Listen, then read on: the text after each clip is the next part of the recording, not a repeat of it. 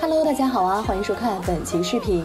黄晓明和 Baby，想必大家都不陌生了。曾经黄晓明为讨 Baby 欢心，高调送 Baby 跑车，而 Baby 娇滴滴感动的样子也是非常的高兴。不过这都是婚前。自从一场世纪婚礼过后，夫妻两人感情似乎急剧下滑，不时传来两人婚变传闻。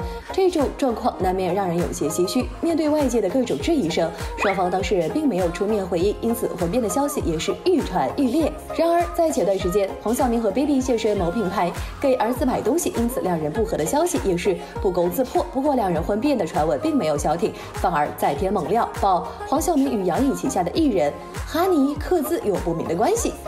哈尼克孜长相甜美，也只堪比迪丽热巴和娜扎，这也难怪会被黄晓明多看几眼。